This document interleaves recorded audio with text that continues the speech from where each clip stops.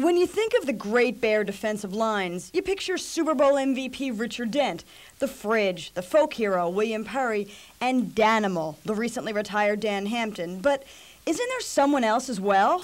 Hey, people, you know me. I play for the Chicago Bears, too. Every game since 1981 in these freezing winters. So you know I've done my duty.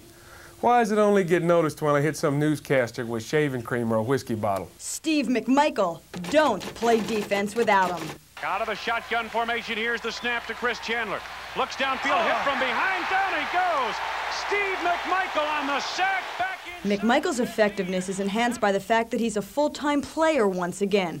With Hampton gone, the Bears are no longer rotating tackles as they did last season. And last year, I think it limited his effectiveness because he's so savvy and so much of his game is based on counters and reading what a guy is going to do and setting a guy up for one move. And the old bull, as they call him, is as crafty as ever, just shy of his 34th birthday. There's old Steve just chugging along. Yeah, I like that image for myself. Yeah, I'm not, I don't want to be the idol of millions. I just want to play football and be in my own little world like you've enjoyed this afternoon.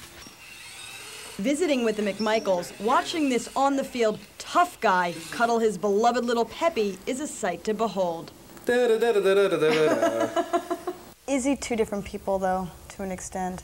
The side that we see on the TV show and, and the Now, he's- bully, so to speak, on the field, as opposed to the way He's you like know a little Dennis the Menace. He's a real character. He, he loves to he loves to act goofy in front of people and do the shock value what he says. I'm going to go buy an Irish wolfhound and just beat the out of him every day.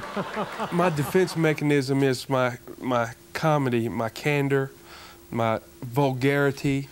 So people, if it, if it offends them, they leave me alone. Please welcome our special guest on the Mike Ditka Show, Steve McMichael.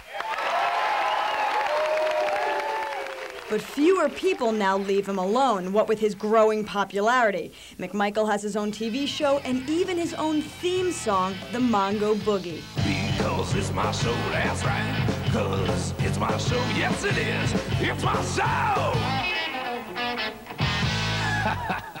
Yes, he's got the trappings of success, but he's not gone Hollywood just yet, because he's not ready to leave the game he loves so dearly. It's euphoria. To come out of that tunnel before a game, the goosebumps, people screaming for you. If everybody could do that, they would know. They would know true elation.